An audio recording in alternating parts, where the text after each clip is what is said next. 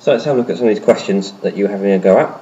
The first one was how to create, uh, convert 93 in base 10 into denary uh, into binary. Now for all of these I'm going to need uh, my uh, grid which shows the denary equivalents of each of the uh, binary digits. So if we're converting 93, the first thing we need to ask ourselves are um, how many times does 128 go into 93? We start from the most significant bit in this case and work down to the least significant bit. So 128 into 93, well, there's none of those. Uh, 64 is in 93, well, there is a 64 in 93, so if we do this, 93, take away our 64, let's see what we're left with, do the basic maths.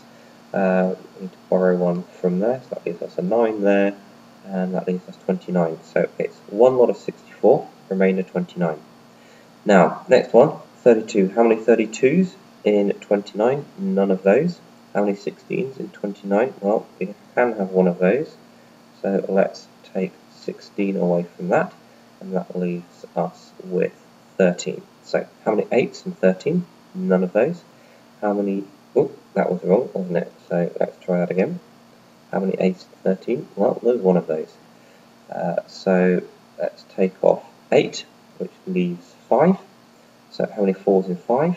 There's 1. So let's take off 4, that leaves 1. How many 2s in 1? None. How many 1s in 1? 1.